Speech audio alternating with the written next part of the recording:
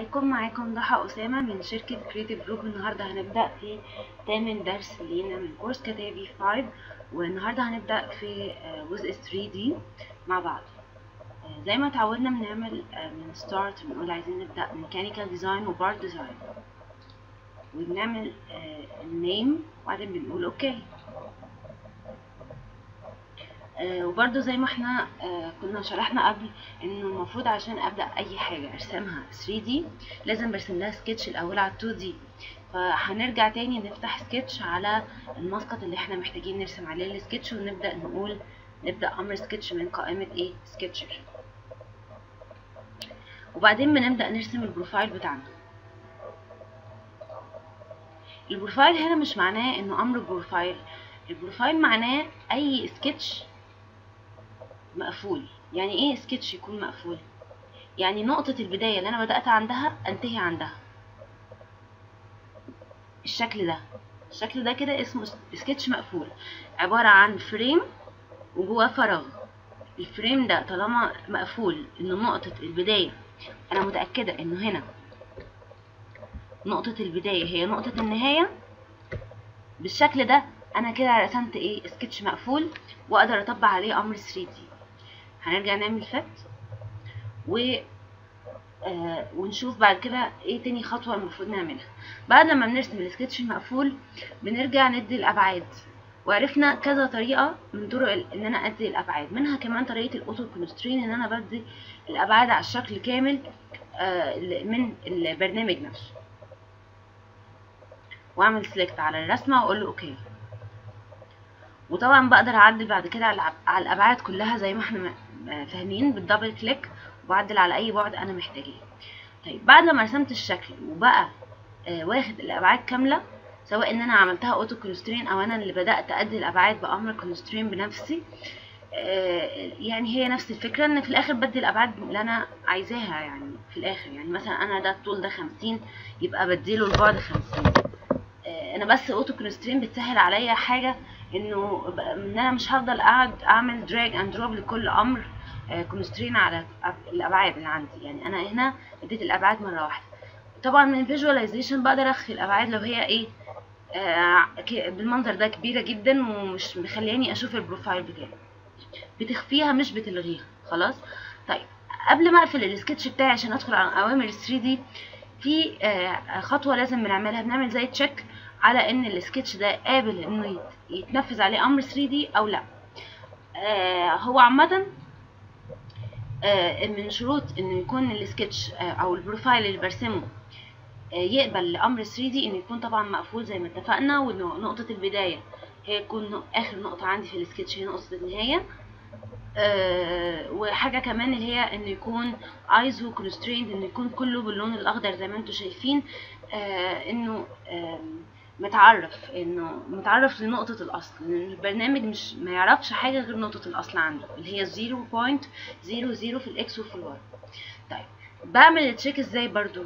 يعني في كذا طريقة منها الطريقة إن أنا بدخل على قائمة tools و options. وبعد كده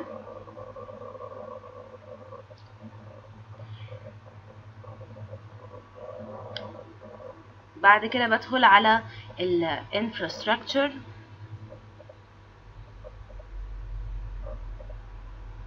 mechanical uh, infrastructure tools option infrastructure وبعد كده بدخل على ال part infrastructure آه، آه، part infrastructure ليه part آه، لأن أنا هنا في, في ال workbench اللي أنا شغاله عليه ده آه، أي تعديل أنا بنفذه بيكون على ال workbench اللي أنا فاتحاه. لكن لو قفلت البرنامج يعني التعديل بيكون على ال file اللي أنا إيه شغالة فيه. آه طيب آم، هنعمل إيه بعد كده؟ بعد ما دخلت على ال infrastructure ال part infrastructure هدخل على ال part document علشان أتأكد من إن السكتش بتاعي ده قاد- قادر أو قابل إنه يكون آم، يتنفذ عليه أمر الإيه؟ ال 3D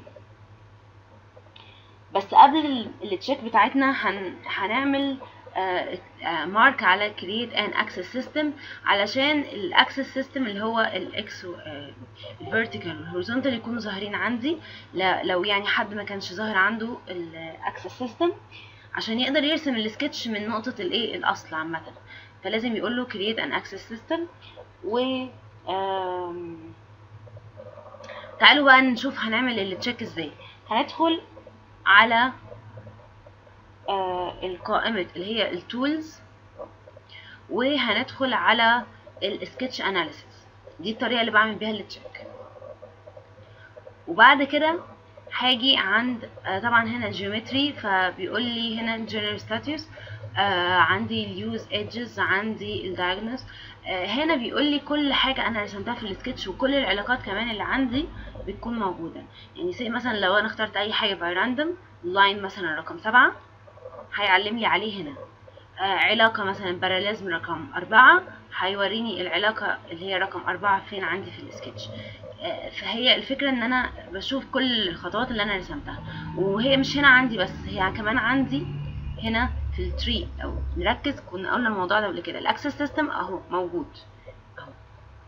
ال part body ال sketch لو دخلت فيه ودخلت على ال constraints هلاقي كل العلاقات. طب لو دخلت على ال geometry هلاقي كل الخطوط وكل الأوامر اللي أنا نفذتها عندي في السكتش موجوده علشان لو في error هيظهر فيها.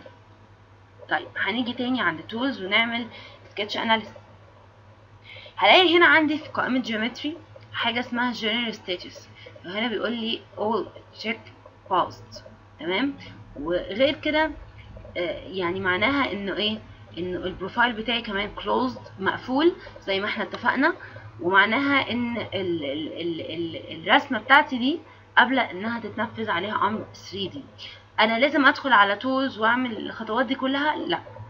آه، عندي هنا آه، في ال ال ال القائمة هنا عندي تحت. أهي ال sketch analysis لو دخلت عليها هلاقي حاجتين. هلاقي عندي ال solving status هنا بيقول لي إن انت iso constrained يعني أنا كده السكتش بتاعي ده خلاص ايزو يعني تمام مفيهوش إيه مشاكل خالص. زي ما إحنا إيه متفقين. طيب. نعمل normal بعدين عندي هنا القائمة برضو فيها حاجة تانية خانة تانية. اللي هي ال sketch analysis اللي إحنا لسه كنا فاتحينها geometry وايه و use edges و diagnosis طب في ال geometry لو دخلت هنا آه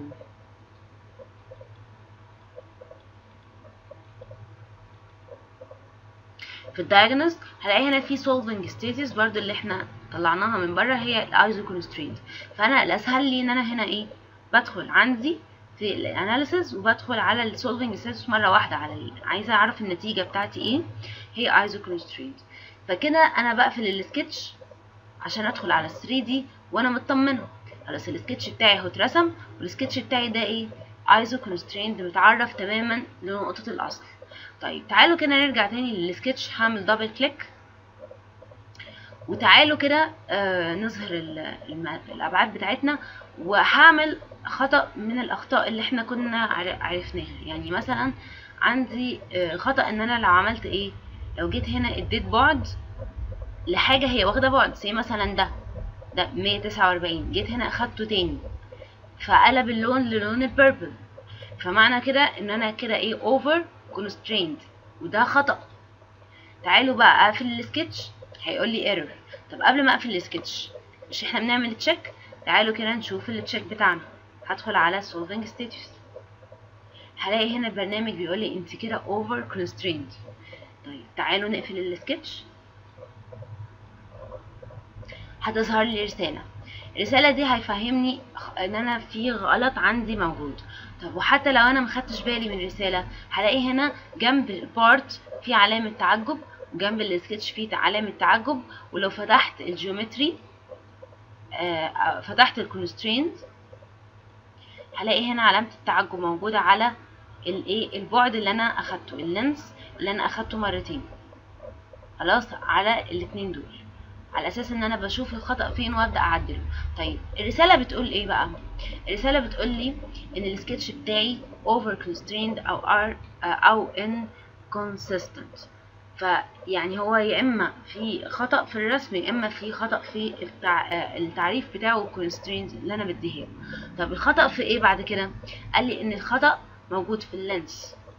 رقم 16 وال length وال offset ال 12 الاتنين دول أخدوا أبعاد آه نفس البعد مرت يعني مرتين. أنا اديت البعد إيه؟ مرتين. هنا بيقول لي اعملي delete لده أو delete لده اللي هو بيوريني الحل اللي أنا ممكن أخده. هنرجع تاني للسكتش بتاعنا. double click فالحل دلوقتي بعمل إيه؟ لما ألاقي علامة التعجب دي لازم أرجع أجري أشوف إيه المشكلة اللي كانت عندي بالسكتش. وهخش على ال constraint وهنزل أشوف الأخطاء إيه. في ادي أول length في مشكلة وده تاني length عندي فيه مشكلة. أنا بقف على أي واحد وبعمل عليه delete right click و delete. أو هنا بعمل right click وأقول له delete على أي واحد فيهم. الفكرة إن أنا لازم أرجع تاني للون الأخضر اللي هو ال iso constrained وأرجع بعد كده أقفل السكتش هلاقي إن السكتش هيتقفل من غير ما يظهر لي أي رسائل ومن غير ما يكون في علامة تعجب معناها إن أنا إيه مفيش أي خطأ. طيب تعالوا بقى نشوف لو أنا السكتش بتاعي ده نخفي بس الأبعاد. لو السكتش بتاعي ده ما كانش مقفول كان إيه اللي هيحصل؟ يعني نشوف كل الأخطاء اللي ممكن إيه تواجهنا لو أنا عملت delete كده زي ما أنتم شايفين إيه اللي هيحصل لما أجي أعمل أقفل السكتش؟ لما أجي أقفل السكتش هو اولا يعني ما قالش هنا في مشاكل بس المشاكل هتظهر لما أجي أنفذ أمر في ال 3D زي الأمر ال pad وأمر ال pad ده هناخده مع بعض بالتفصيل. أول ما أنا اخترت الأمر قال لي أنت كده في خطأ ليه؟ إن السكتش بتاعي ده ال solid feature of body ده فيها مشكلة إن أنا عندي open profile ال profile بتاعي ماله مفتوح. هاجي أقول له ماشي تمام أرجع تاني أفتح السكتش. لا ه cancel. أنا مش هينفع أعمل تمام على حاجة فيها خطأ. هرجع تاني لل sketch double click وهاجي أشوف برضو أعمل check بالطريقة اللي إحنا اتعلمناها وأقول له ال status بتاعتي عاملة إيه فبيقول لي هنا under constraint. وغير إن هي under constraint هشوف ال analysis كاملة. تعالوا نشوف ال analysis هلاقي هنا في ال diagnose يقول لي في ال geometry بيقول لي هنا إن أنا ال status بتاعتي الحالة بتاعتي إيه؟ opened في curve رقم ستة ده opened طيب ماشي. يبقى إحنا لازم نحل المشكلة دي بإن إحنا نعمل إيه؟ إن إحنا نقفل السكتش ده بتاعنا. هاجي هنا آخد أمر line وأعمل zoom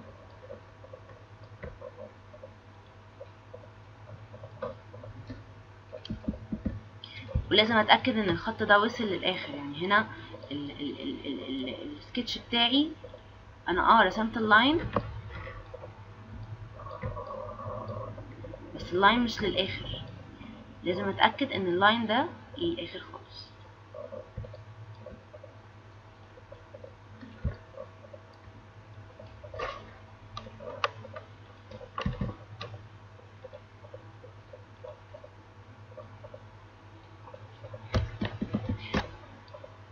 أنا طبعا رجعت under constraint لأن أنا مسحت خط والخط ده بقى ملوش بعد. فهرجع تاني أديله الإيه؟ الأبعاد بتاعتي auto تمام. أنا كده رجعت تاني للوضع اللي هو الإيه؟ ال iso constraint طب تعالوا نشوف آه طبعا لو أنا قفلت السكتش دلوقتي أو تع... آه شفت ال status بتاعتي مفيش مشاكل. طب تعالوا كده نرسم line يقطع الشكل بالمنظر ده. إيه المشكلة اللي هتحصل هنا؟ لو جيت الأول هنا قلت عايزه أشوف ال status بتاعتي هلاقي بيقول لي إن أنا under constraint لأن أنا رسمت line مش واخد بعد دي حاجة. طيب تعالوا نشوف ال analysis هلاقي إن هنا بيقول لي إن أنا في isolated في line isolated. ال line isolated ده يعني معزول عن السكتش بتاعي يعتبر لأنه خارج براه ولأنه مش واخد بعد فال line ده هيعمل لي مشكلة في الآخر يعني. أنا كده هبقى في وضع فيه مشكلة لما أجي أقفل السكتش. يعني تعالوا نقفل السكتش دلوقتي ونطبق برضو أي أمر 3D. هلاقي هنا بيقول لي في error لأن هنا المشكلة إن السكتش بتاعي يا إما open يا إما فيه أي geometry أصلا معمول له خطأ. يعني في غلط في ال geometry بتاعي. فأنا لازم أعمل إيه؟ تعديل عليه الأول. هاجي هنا ادخل على السكتش. يبقى أنا كده فهمت إيه النهارده؟ فهمت ان السكتش بتاعي لازم يبقى مقفول. فهمت ان السكتش بتاعي ما ينفعش يبقى في وضع ان يكون isolated ان يكون في خط بيقطع الشكل زي ما إحنا شايفين كده. فده كده في خطأ أو يكون الشكل بتاعي مفتوح. طيب وعرفنا إزاي بنعمل check وعرفنا إزاي بنعمل تعديل من الشجرة اللي عندي لما بيظهر أي error طيب وعرفنا حاجة كمان عايزين نقول عليها إن أنا مثلا لو عندي خط زي ده ومثلا مسحته وبعدين رسمت line وال line ده مديته يعني مش مجرد إن أنا وصلت الخط بس لا ومديته كمان بزيادة. فانا كده رجعت تاني لوضع ال isolated عشان تبقوا وسط إيه عارفين. وضع ال isolated معناه إن يبقى عندي خط زيادة عن الشكل خط خارج منه ال profile مش مقفول وبس لا مقفول وفي زيادة في الشكل آه مش مش عارفين هنطبق لها أمر إيه. يعني الأمر ال 3D ما بيطبقش على حاجة opened مفتوحة زي مثلا الأمر زي شكل ال line ده. لازم ال line ده لازم ال line ده يكون مقفول. حاجة مثلا زي كده. طالما ده كده مقفول ينفذ عليه الأمر. طب لما يبقى ال line زي يعني ال profile زايد عليه line هو هو ساعتها بيعتبره isolated وما بيبقاش عارف يعمل إيه في ال line ده في الأمر 3D فأنا لازم أنتبه إنه ما يبقاش عندي هنا أي خطوط زيادة بره الشكل أو خطوط بتقطع الشكل زي الخط اللي رسمناه. وضع ال isolated ده لازم ننتبه عليه كويس قوي هنيجي هنا نعمل أمر اللي عندي هنا. أمر ال trim quick trim ونبدأ نعمل إيه؟ نشيل الزيادة اللي عندي هنا. خلاص؟ أنا كده رجعت تاني إيه؟ لل closed profile أنا كده الوضع بتاعي لما أعمل analysis أنا كده إيه؟ رجعت لل profile بتاعي closed الوضع ده هو ده الوضع السليم بس طبعا إيه؟ مش مش مش مش عايزه constraint بس كده أقدر أنفذ أمر 3D عادي. لو برضو حاجة كمان لو أنا جيت هنا رسمت دايرة في الشكل ده. الدايرة دي معناها إيه؟ معناها hole معناها فراغ. معناها إن أنا لما أدي thickness للشكل كله ساعتها هيعتبر إن إيه؟ إن إن الدايرة دي فراغ عندي. فساعتها بيدي برضو أمر 3D يعني أنا الدايرة دي مش معناها مش زي ال line لما بيقطع الشكل. لا الدايرة دي تمام مفيهاش أي مشكلة. ممكن كمان نرسم أي دايرة تانية عندي في الشكل. تمام؟ الدوائر دي مش بتعمل أي مشاكل بالنسبة لي. طيب. طب تعالوا نطبق أمر 3D نقفل السكتش ونطبق أمر إيه؟ ل 3D. وناخد أمر أول أمر عندنا هو أمر ال pad أمر ال pad بيدي thickness الشكل عندي زي ما أنتم شايفين. أول ما أنا طبقت الأمر آه أنا لسه في جوه الأمر ما قلتش okay بس هو بيبدأ يوريني آه الشكل عامل إزاي لما ياخد thickness هو دلوقتي واخد سمك السمك قيمته إيه؟ قيمته 20 ممكن أقول له لا عايزها 50 هلاقي أدي السمك بتاعي فهو بيعمل إيه؟ هو أخد ال profile المقفول عندي. يعني إيه أخد ال profile المقفول عندي؟ يعني لو ترجعوا للشكل الأصلي اللي كنا راسمينه نقف عليه كده normal هتلاقوا إيه هنا؟ هتلاقوا إن أنا كل الأشكال المقفولة دي أخدها معايا. ولما رسمت الدوائر كأني عملت هول كأني عملت فراغ فيه. بس الفراغ ده مش مشكلة بالنسبة لي. الفراغ ده إيه؟ مش مشكلة بالنسبة لي. لكن المشكلة هتظهر في إيه؟ في حاجة زي وضع الآيزوليت أو وضع الأوبن. ساعتها مش هيبقى عارف يدي الخامة فين. لأن أنا الفكرة في ال three D إيه؟ إن أنا بدي خامة للسكتش. بدي material. بدي سمك ليه للشكل السكتش بتاعي. عايزاه يبان 3 D. فلازم ناخد بالنا من السكتش بتاعنا يكون مقفول و و بالمنظر ده خلاص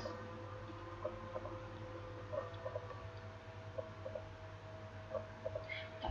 عايزين حاجة كمان عايزين ممكن نرجع تاني في الأمر عادي بتاع ال pad نقف عليه ونعمله delete نرجع للسكتش هو أنا لما لغيته هرجع control Z معلش. أنا لما لغيت الأمر لغاه بالسكتش بتاعه. فأنا المفروض أعمل إيه؟ المفروض أفتح كده الأمر. وال pad بس هو اللي أنا بقول له إيه delete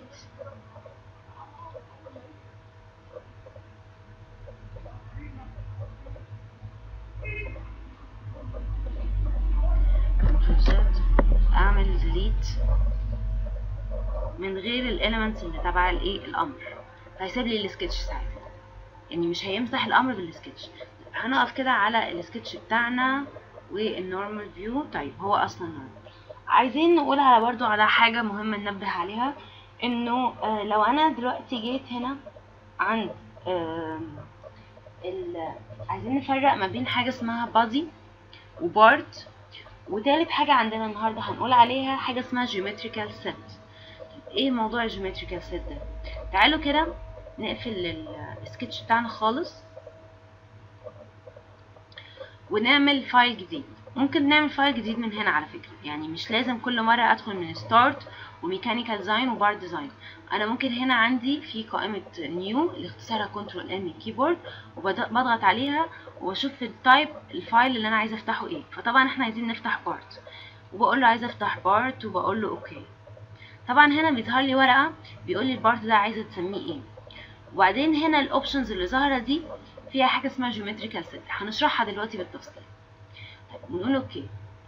دلوقتي ال geometrical set دي عبارة عن إيه أصلا؟ عبارة عن آه، زي آه، file أو زي آه، مخزن ليا ليه للسكتش بتاعي. يعني أنا لما باجي أرسم في السكتش أوامر بدخلها تحت آه، أمر أو تحت اسم ال part أو ال body أو ال geometrical set طيب مين ال parent ومين ال children مين ال ال ال ال آه، يعني مين اللي بي بيشمل ال- الحاجات دي كلها؟